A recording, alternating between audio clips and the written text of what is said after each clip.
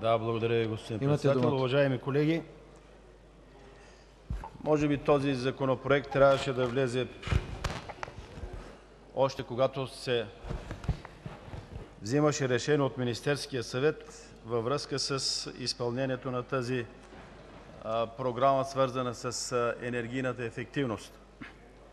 Уважаеми колеги, опита в момента на първо четене, за да дадем възможност на гражданите да бъдат улеснени при взимане на решения, свързано с ремонтите, свързано с всичко онова, което се случва в около блоковото пространство и в самия блок, смятам, че и гражданите ще ни подкрепят. Няма, как, когато се очаква да бъдат санирани панелните жилища, да се очаква да се вземе решение 100% от всички, които живеят в този блок.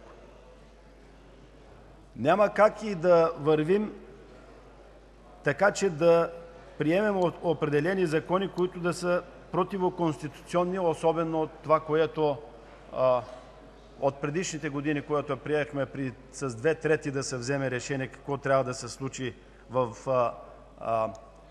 в жилищния блок, в жилищната сграда, тогава Конституционният съд реши, че няма как с две трети да бъдат решени тези въпроси, трябва 100% да бъдат решени.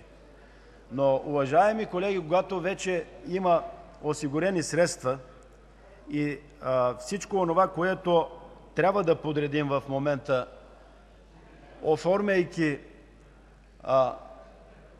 управлението в самия блок с избора на домоуправител и оттам нататък взимането на решението с 50 плюс 1% да допуснем хората да, могат да, им се направи безплатно анализа за енергийната ефективност, да им се обясни на тези хора, че извеждането на вертикалните штрангове в а, а, входа, включително всички измервателни уреди, които ще бъдат изнесени на самия вход.